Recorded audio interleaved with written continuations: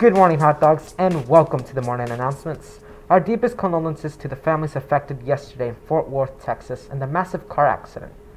Antonio, are you ready for the game tonight?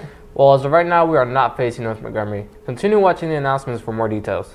Let's move on with the pledge. Please stand.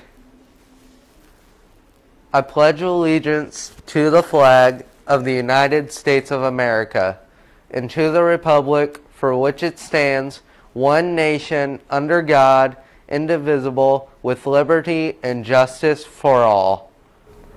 The Hot Dog Network would like to wish good luck to Elijah Anthony tomorrow at Semi State. We wish the best of you and we just hope you just have fun, no matter the outcome. We would also like to wish good luck to the DECA members recording and submitting their event for state. Hopefully, you all make it to nationals. Official mandatory track practice begins Tuesday, February 16th at 3:10 p.m. on the mezzanine in front of room 403.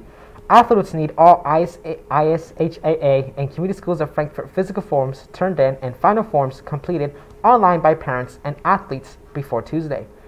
See Coach Galati, Byers, or Hammond if you have any questions about joining the team. Also, seniors, make sure to make your cap and gown orders now. Time is slowly running out. Now let's sit into weather with Emily. It is currently 18 degrees outside with wind gusts at 8 miles per hour. Today's high is 25 and cloudy. Tonight, temperatures will drop back down to 18 degrees. Looking ahead, there is a 55% chance of snow flurries tomorrow. On Monday, be prepared for 1 to 3 inches of snowfall as well with temperatures at 10 degrees. That's it for today. Have a great Valentine's Day and good luck to Elijah tomorrow at Semi State.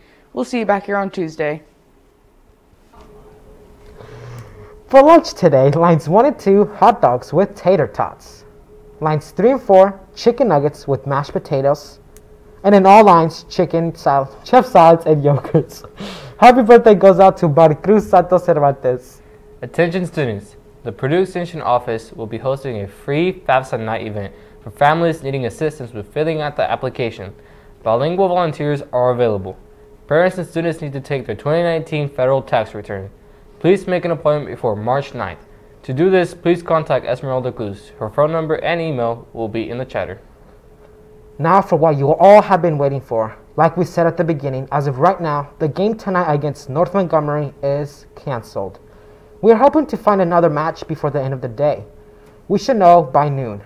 Anyways, that is all for the announcements, hot dogs. Make sure to stay safe and stay motivated. Make sure to like, subscribe, and have a fantastic Friday. Also, happy Valentine's to all of you guys. Ew.